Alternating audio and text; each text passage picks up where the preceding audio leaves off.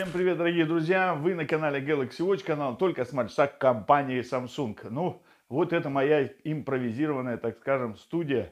Ну, зал в квартире в моей.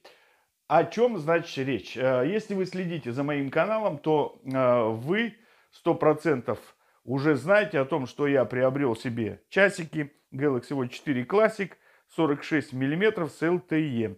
Уже их подсоединил, у меня уже есть видосик распаковочки – и видосик о том, э, как я подсоединял eSIM на данное устройство. Теперь же я что хочу сделать? Очень много отзывов о том, что часы греются э, с LTE и так далее и тому подобное. Решил, вот сейчас я их полностью зарядил на 100%. Сейчас я все установлю свой штативчик. Ага. Мы с вами включим все там примочки. И я хочу такой эксперимент, значит, провести, что сколько э, данные часики продержатся с полным, всегда включенным LTE режимом, да, мобильной связью и LTE. И потом, естественно, вам об этом сообщу. Как видите, сейчас вот 100% у меня здесь зарядки. Сейчас мы откроем. Что-то вот, видите, 100%. Теперь мы с вами Заходим в настроечки. Спинка, ребятушки, у меня болит. Что-то ой, жесть просто. Заходим в настройки с вами. Подключение. Так, сейчас мы настроим наш штативчик, чтобы вам хорошо было видно. Так, все. Подключение. Идем в подключение. Мобильные сети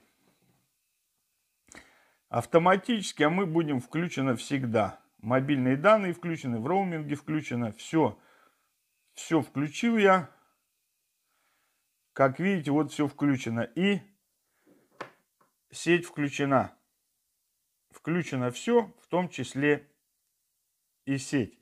И посмотрим мы, сколько данные часики в таком режиме у меня сегодня проживут.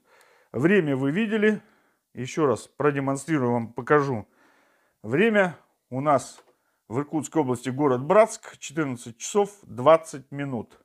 14 часов 20 минут. Теперь будем с вами ждать, сколько же они проживут. Мне самому прям интересно.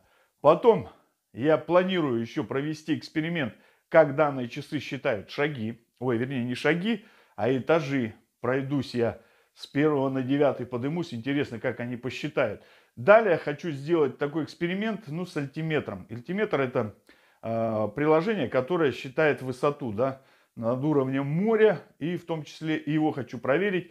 Э, альтиметр, который можно установить на часы, он измеряет до минус, получается, 400 метров, короче, над уровнем моря получается. Вот так, да, и выше, естественно. И также хочу его испытать, с первого на девятый этаж подняться и посмотреть, как он будет измерять. Ну и еще, еще много экспериментов, которые я хочу с этими часиками провести. Это первый. Поэтому, дорогие друзья, если вы еще не подписаны на канал, обязательно подпишитесь. А, обязательно поставьте лайк этому видосу. Обязательно, дорогие друзья, напишите свой комментарий. И я вам обещаю, что будет интересно. Поэтому подписывайтесь на каналчик. Так, дорогие друзья, вот прошло, значит, время у нас сколько? прошло. Сейчас время 15.45, да? 15.45. 15.45 и смотрим, сколько у нас заряда. Блин, ничего не вижу. 88%. Так, ребятушки, прошло почти 4 часа, без 20 минут. Ой, без 9 минут. Как видите, 68 заряд. Ну, кушает конкретненько кушает. Видите, сеть включена, все работает. Так, время, как вы видите, 23.15, заряд 30%. А, я вот спать собрался ложиться, не знаю, доживет до утра или нет. Ну, будем надеяться, что доживет. А так, потом по батареечке посмотрю, во сколько отключился.